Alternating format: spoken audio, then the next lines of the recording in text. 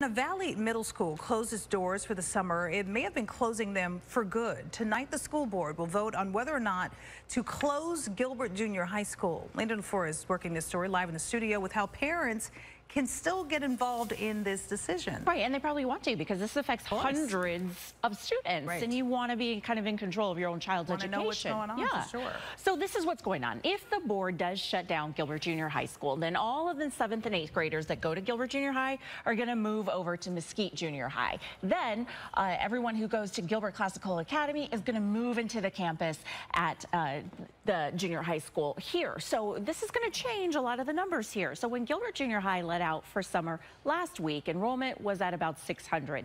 Next year, the board expects that to drop to about 400. So the board wants to move those students and add them over to Mesquite Junior High School. That would bump up the enrollment at that school from about 600 to nearly doubling above 1,000 students. Now, this is not going to change the high school they end up attending after junior high, but it could, though, redistrict the elementary schools at schools like Burk, Harris, Houston, Oak Tree, Patterson, Pioneer.